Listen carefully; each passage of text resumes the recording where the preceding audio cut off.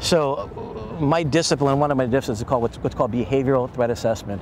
I'm one of a small but growing group that try to assess the credibility and seriousness that somebody's going to do something. And we spend a lot of time trying to figure out what leads up to this. And, and what we've recognized that there's a specific path of behavior that leads up to this, and they do certain things and they display really recognizable patterns of behavior that if we educate people on what to look for, that we could start to prevent some of these things from occurring. So say somebody sees another individual that is exhibiting that kind of behavior, whether it's cryptic messages they're posting on social Yeah. media, anything, how do you how should you assess that and you know who should you tell? Yeah. So I think it's a baseline. This is overly simplistic, but we're all kind of weird. Like we're all peculiar in our own ways. And I think to what to watch for is when somebody gets what I call justice-seeking behavior. They want to right a wrong, and then two, they start displaying an acceleration of inappropriate behavior. That's really those two combinations are a perfect time to let somebody know, because you may not have the full picture. A supervisor, police department, a lot of police departments are really becoming in tune to these things that are just below a criminal violation, but concerning behavior. Okay, and that's a great place to start. You know, I want to talk a little bit about what ended up happening um, in Gilroy. This was an individual. Yeah. It was a well secure place. Yeah.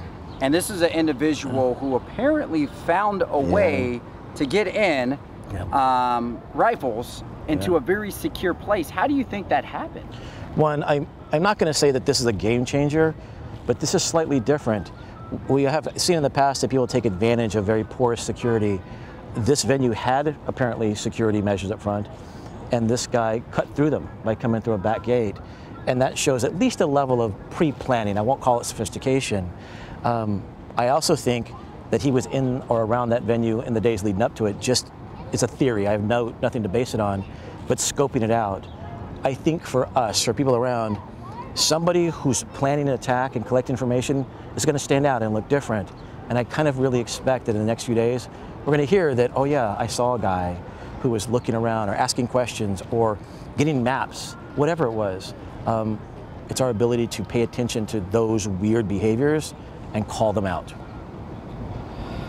Is there any place that we are safe to go uh, these days?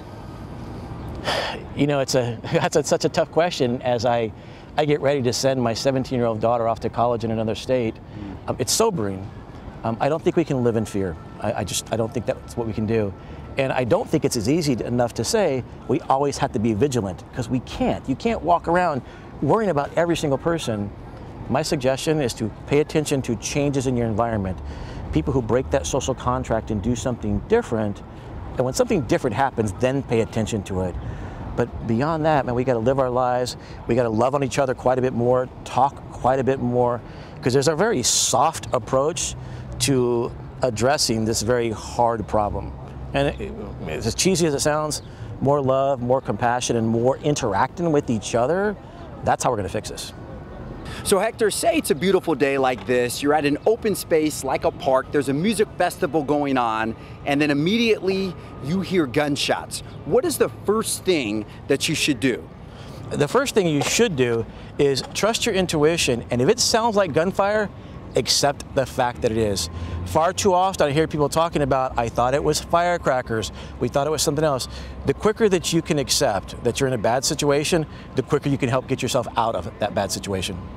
So once you realize you are in that bad situation and it is indeed gunfire that you heard, Okay? what is the next step that you should do from there to kind of uh, secure your safety? We got to figure out where it's coming from. If we hear gunshots, screaming and yelling coming from that direction over there, we want to go the other way. But if you don't know where it's coming from, it's really hard just to go running because you may inadvertently run into the gunfire. You've got to get your orientation, you've got to get your bearings down.